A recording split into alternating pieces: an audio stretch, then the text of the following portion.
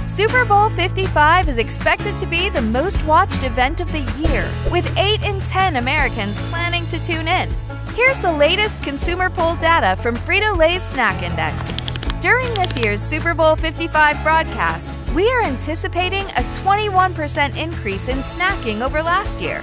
Retail sales data shows that Super Bowl Sunday is one of the biggest snacking days of the year. We're producing more than 70 million pounds of snacks in the week leading up to the game.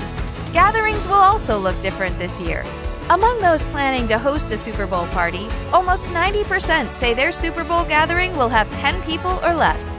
Americans are planning to shop for Super Bowl during the week leading up to game day, but not everyone is as prepared, with 25% of consumers expected to shop just six hours before kickoff. No matter what your plans are for Super Bowl 55, Frito Lay has you covered, with delicious snacks for every fan.